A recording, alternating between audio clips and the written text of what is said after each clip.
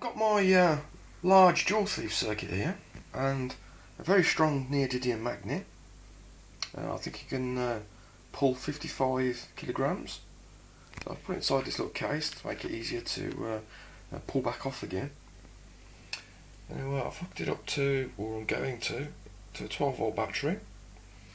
And the leads out, I've got coming out now to a compact fluorescent lamp. Now all the electrical gubbins have been taken out. And what I'm going to do is literally switch it on. Well, that's on at the moment. You'll be able to see if I switch this light out. You've got ever such a small glow there. But if I put this neodymium up close,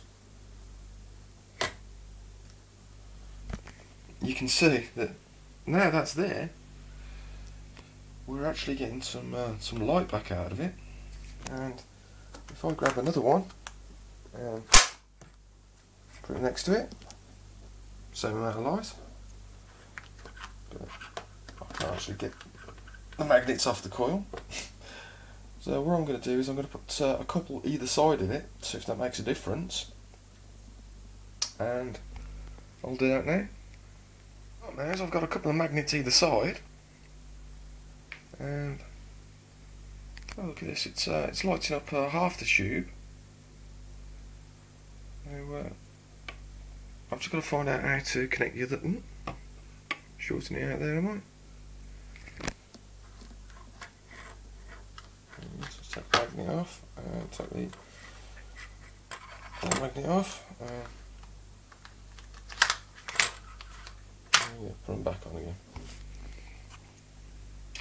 I'm just going to find out how to light up the rest of it, which pin connections it is.